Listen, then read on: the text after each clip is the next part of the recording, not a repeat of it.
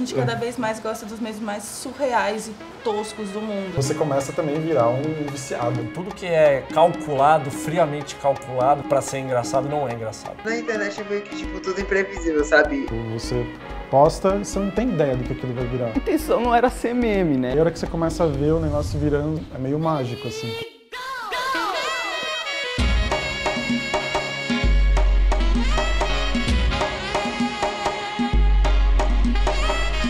Meme é basicamente, tipo, alguma coisa que você usa, tipo, uma foto, um vídeo, um GIF, tipo, representando você naquela hora, só que sem ser você.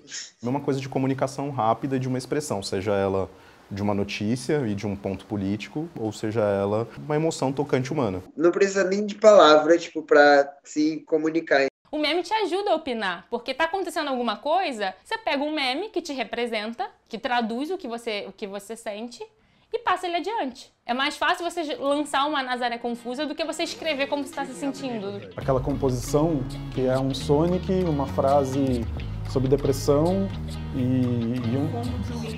Não tem explicação, é só para é, fruição, basicamente. Né? Por isso que eu considero que é, é uma arte extremamente avançada, assim, muito acessível, né? As pessoas nos mandam os conteúdos que a gente achar legal, a gente publica. Tem caso também que a própria pessoa ela manda uma imagem, vamos dizer assim, dela querendo virar um meme. Se um jovem ele acabar virando meme, pra ele vai ser ótimo, porque ele é jovem, tá virando famoso, né? Hitei. As coisas mudaram? E os valores estão se invertendo. Muita gente ficou usando meu vídeo, tipo, pra postar nos status do WhatsApp, stories do Instagram. Você não esperava isso, mas também não reclamo, porque, tipo, eu gosto, entendeu? é basicamente, tipo, as pessoas usando meus vídeos pra fazer graça. E eu gosto disso. E daí? Depois que eu fiz, não é mais meu, é da internet. Como eu já trabalhava com vídeos de humor, fazia muita paródia, eu vi a tecnologia e falei, caramba, isso aqui está sendo usado para pornografia e, e tem uma utilização fabulosa, eu posso utilizar nos meus vídeos.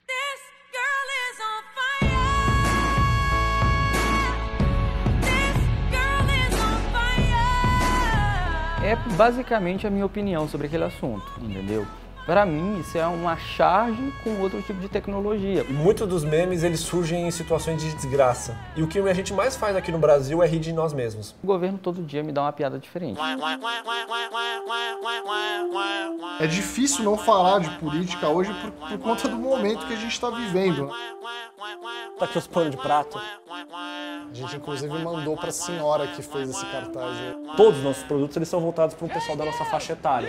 E uma das necessidades que a gente percebeu que essas pessoas tinham era ter pano de prato não laicos. O pano de prato é o que a gente mais vende. Né? A gente faz meme político porque o Brasil nos obriga, vamos dizer assim, né? Acho que até um dos maiores crescimentos da página foi nesse, na época das eleições. A gente sentia, tipo, como é que eu vou ficar fazendo as pessoas rirem de meme de, sei lá, de miojo, sendo que eu abro o G1, tá, o mundo tá caindo.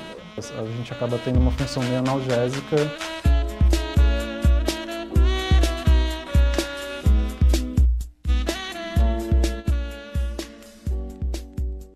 acaba criando um contraponto que vira esse espaço de desabafo, porque é onde as pessoas abrem para rir, mas para rir de si mesmo e para se sentir incluída também. Você vai no Instagram, tá todo mundo na sua melhor versão, tá correndo na praia, tá comendo a comida da dieta. Você vai no LinkedIn, tá todo mundo com um emprego maravilhoso, que você fica assim, nossa, a vida do outro é melhor que a minha. Por outro lado, você vai na página de meme, tá tudo ruim.